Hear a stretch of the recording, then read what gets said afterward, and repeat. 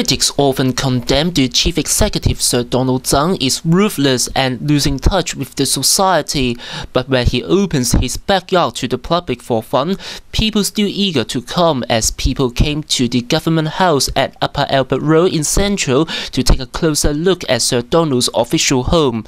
This tradition began in 1968 when Governor Sir David Trench opened the backyard to the public in the aftermath of anti-British riots in 1967 it was aimed to let the public to view the blossoming flowers and trees in the garden, as well as the place where the governor worked and lived. But commentators at that time regarded it as a PR gesture to heal the trauma caused by the riot. 43 years on, the new master still keeping this tradition with new ideas.